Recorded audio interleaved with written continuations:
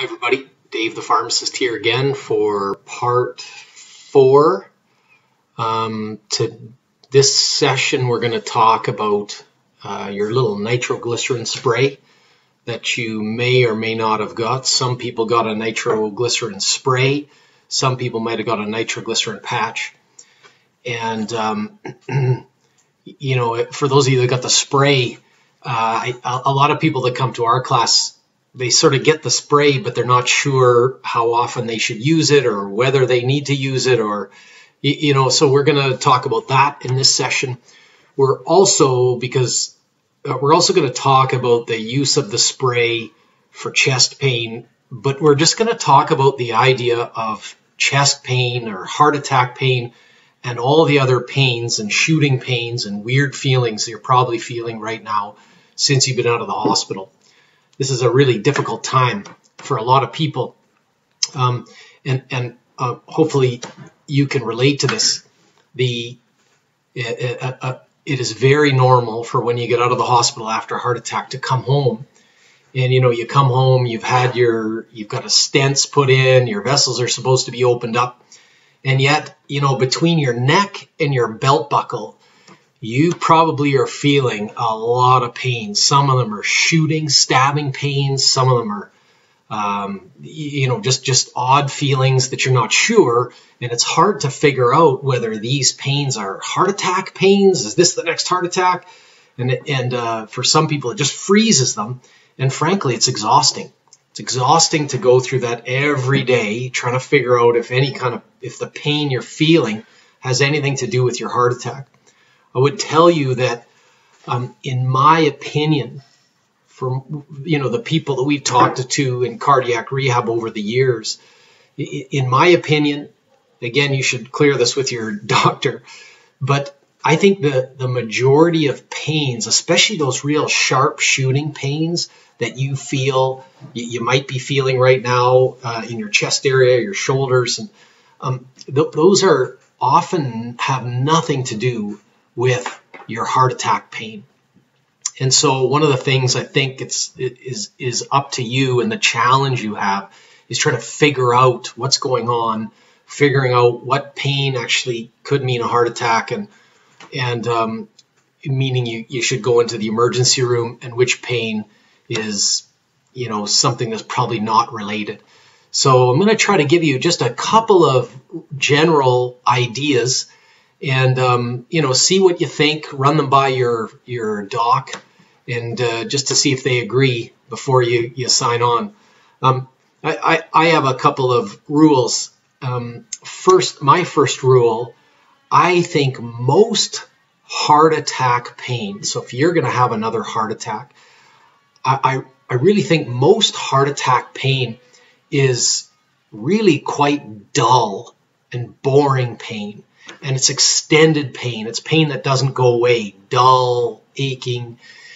A lot of the pains that people get when they get out of the hospital are these real sharp shooting pains that last for a very short time and then they're gone.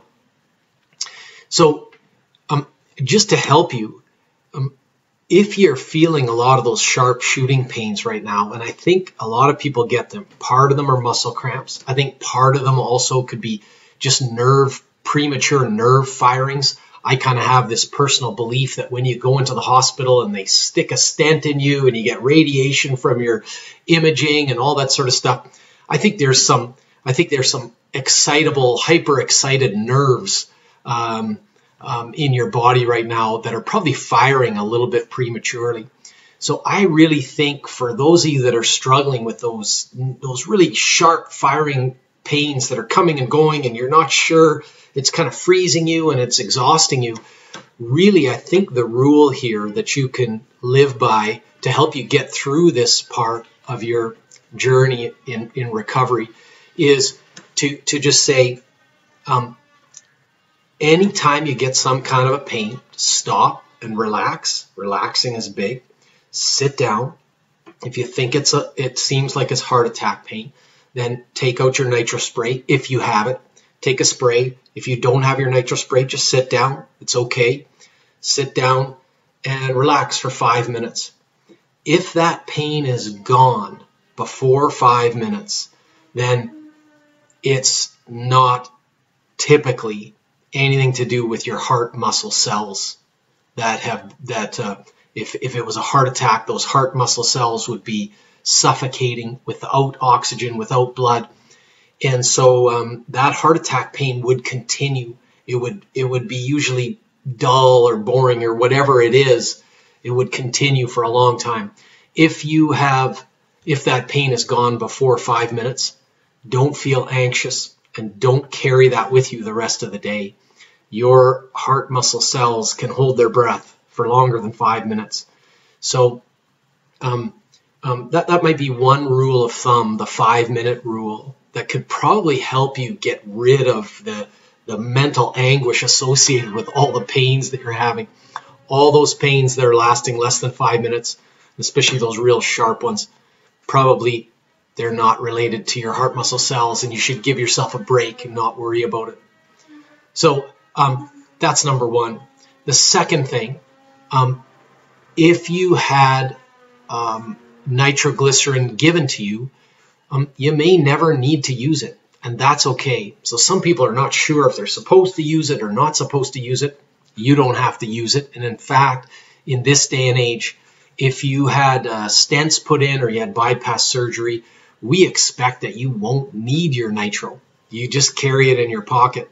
And that nitro is simply used for those times when you're not sure if your heart, what your heart pain might be from. Spray that nitro, sit down for five minutes, and it will help it go away faster.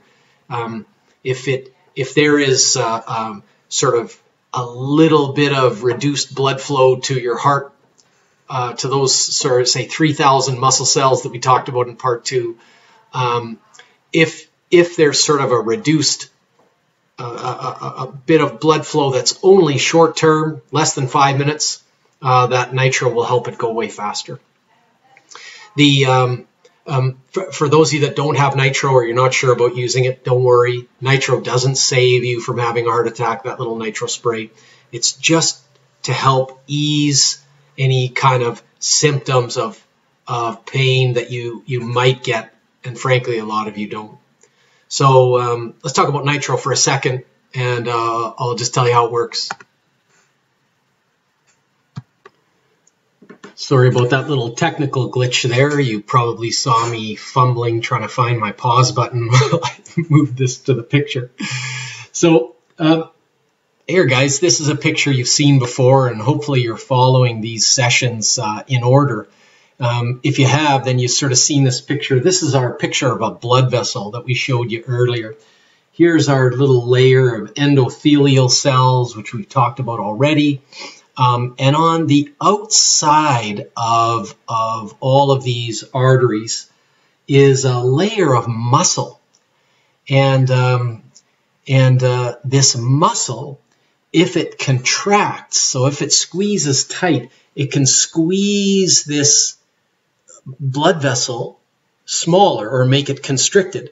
If that if this muscle layer relaxes, it can open up and dilate to allow uh, a greater area of uh, and more blood to flow through. So um, th this is uh, um, I, I, draw you this picture because this is sort of the place where nitroglycerin works is on blood vessels, and um, um interestingly enough, the nitroglycerin that comes in that spray, I'll call nitroglycerin NTG. This nitroglycerin, when you spray it into your mouth, it actually doesn't do anything uh, in this form, nitroglycerin. But what happens is when you put it into your body, your body very quickly changes this nitroglycerin into a compound called nitric oxide. Now, if you Google, um, if you Google nitric oxide or uh, uh, on the internet or um, in textbooks, you also see it. You'll also see it, the short form for nitric oxide as NO. Nitric oxide is considered uh, what is called a vasodilator. It opens up vessels.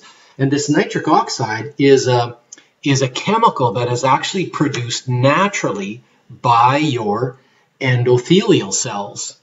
So the way it kind of works is um, these endothelial cells, when they're feeling stressed or pressure, if there's a lot of pressure inside the blood vessel, and we've already talked about blood pressure, um, they will uh, they will create or produce this chemical called nitric oxide. And what they do is when they produce this chemical, they just push it back to their next door neighbor, the muscle cells. And so as this nitric oxide is made and pushed to the muscle cells, the nitric oxide gets into the muscle and it causes that muscle to relax, meaning that this vessel can potentially then dilate or open up a bit and open the, the area for amount of blood to come through. So the, um, this nitric oxide is a chemical, like I said, that is made by your endothelial cells. And so this is done naturally. But interestingly, I don't know who discovered this, but um, if you take nitroglycerin into your body, your body converts this nitroglycerin also to nitric oxide. And so this is actually how nitric how nitroglycerin works to sort of relieve chest pain. Um, and there's a little bit more to this story, but this is sort of this the simple idea.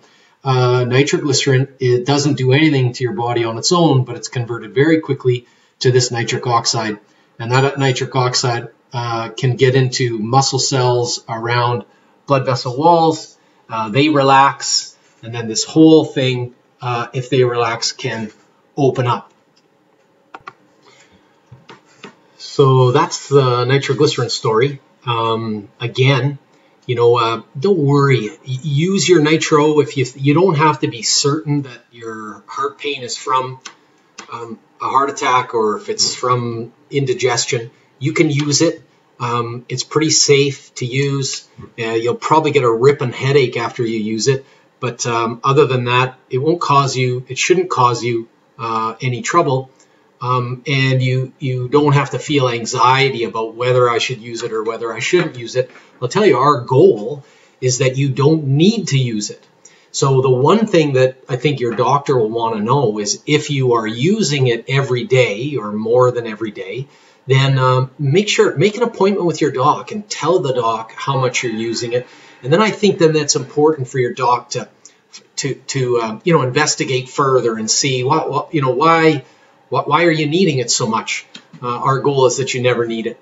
And um, uh, but in the meantime, use it if you need it. If you use it, and if that pain lasts for more than five minutes, so before we were talking about pain that lasted less than five minutes, it's usually just transient, it goes away, and you don't have to worry about damage. You don't have to worry about the anxiety that you get when you're sort of feeling chest pain, and especially at this time after you just got out of the hospital. This is a very difficult time. So um, if it lasts less than five minutes, don't worry. Just make sure to tell your doctor how much you're using it, how much pain you're getting. Um, um, and if you're finding you're getting it every day, make sure you, you get in and get that checked. If that single episode, if, if you do have an episode of pain that lasts more than five minutes, so let's say you've had pain, it's not going away, you sit, you spray your nitro. Um, if it lasts more, if it hasn't gone away in five minutes, or if it's getting worse, um, you're still not sure, um, you know, the best thing you can do is go to the emergency department. Even if it's heartburn or if it's something else, don't be embarrassed about going to the emergency department.